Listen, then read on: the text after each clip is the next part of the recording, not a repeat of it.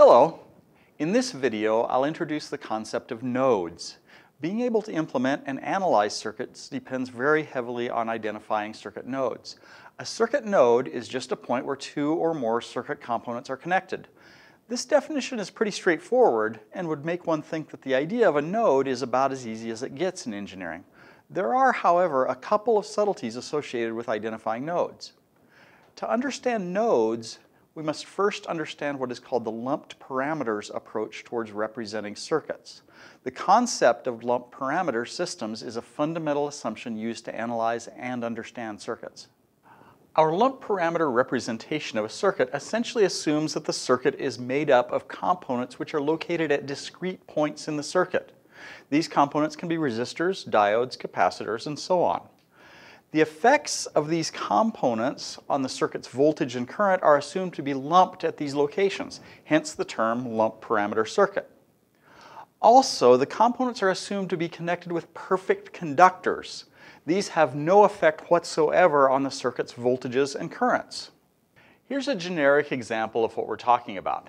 These gray boxes represent our circuit components. These components affect the voltages and currents in the circuit the components are connected by perfect conductors, represented by these lines.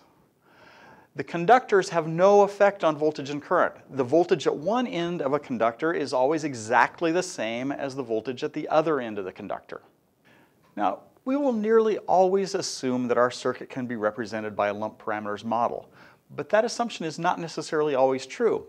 For a lump parameters model to be appropriate, what we're really assuming is that information transmits instantly throughout the circuit. That is, the speed of information transmission is infinite. So if I change a voltage or a current somewhere in the circuit, the effect is seen everywhere instantly. Now, as far as we know at the moment, the theory of relativity limits the speed of information transmission to less than the speed of light. So this assumption is not exactly true. However, if we change our voltages and currents slowly relative to the time taken for the information to get to other parts of the circuit, then the assumption is acceptable and becomes very useful. In cases where this assumption is not true, we have to use what's called a distributed parameters model of the circuit. A distributed parameters model will always be more accurate than a lump parameters model, but the mathematics we have to deal with is a lot more complicated. Quite often, the improvement in accuracy is so minute that it isn't worth the extra mathematical complexity. So, what does a distributed parameter system look like? Here's my example of a distributed parameter system, a slinky. The rate at which information is transmitted through a slinky is really quite low. Information transmits through waves which propagate it through the system. If I shake one end of the slinky very quickly, the other end doesn't know I've done this until the wave gets down to that end. This can cause some behavior that can appear strange at first glance. For example, let's look at what happens when I drop the slinky.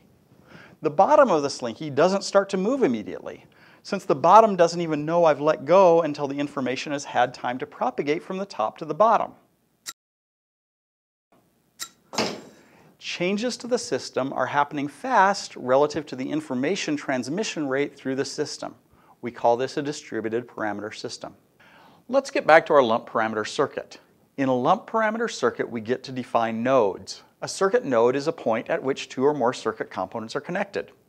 However, since perfect conductors don't really count as circuit components, you can spread out a node with perfect conductors.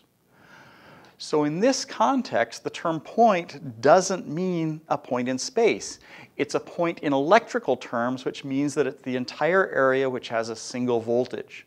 Since there's no voltage difference across a perfect conductor, we can have perfect conductors inside a node. Let's look at what this means in terms of our previous example. Recall that the circuit components in this circuit are represented by the gray boxes and that the lines are perfect conductors. We want to identify nodes on this circuit. It's tempting to identify this point and this point as being separate nodes. However, there's only a perfect conductor between these two, so the voltages here and here are always the same. So these two points are actually both in the same node. Likewise, these perfect conductors cause these two points to be within the same node. These points also constitute nodes, So this circuit has four nodes altogether. Now you know how to identify nodes in a lump parameter circuit.